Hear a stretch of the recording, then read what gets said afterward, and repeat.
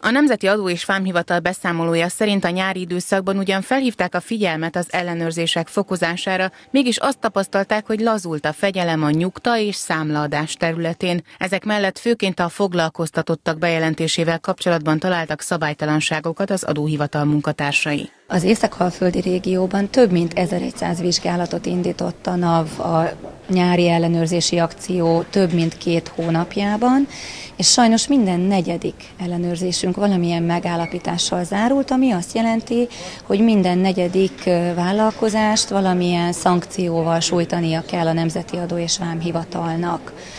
Jelen voltunk a szezonális terméket árusító vállalkozók körében, tehát ellenőriztünk dinyárusokat, zöldség-gyümölcskereskedőket, felelhetőek voltak a kollégák, vagy felismerhetőek voltak, ha valaki felismerte őket a strandokon, a szabadtéri rendezvényeken, fesztiválokon, de extrább bevetésekre is sor került az idei évben, mert mindig próbálják a kollégák egy kicsit követni a vállalkozói szféra fejlődését is, vagy hogy úgy mondjam, az életfejlődését is. Gerabadics Rita hozzátette, a NAV minden szezonhoz próbál alkalmazkodni, így ősszel is várhatóak koncentráltabb ellenőrzések. A minden szentek és a halottak napi ünnepekkor a virágárusok és az alkalmi kitelepülő árusok is számíthatnak ellenőrzésre.